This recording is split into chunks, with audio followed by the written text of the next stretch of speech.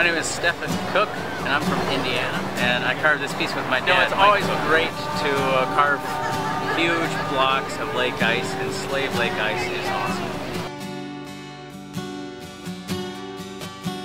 So It's a lot of, uh, it's very physical.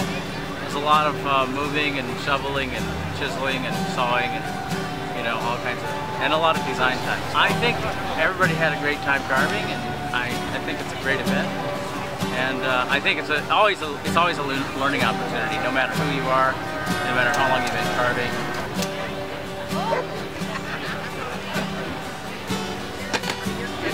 of the 2012 Long John Jamboree Server Round. Everybody's artistic process is a little bit different, and for me, I like to design. I, I just always come up with ideas, and I like to design a lot of different designs.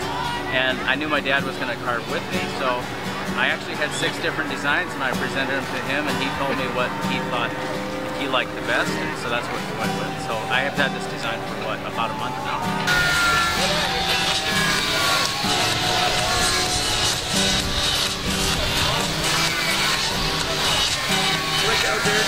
So uh, we want lots of applause, lots of uh, lots of noise. These guys need your support. Everybody worked late last night. They got a very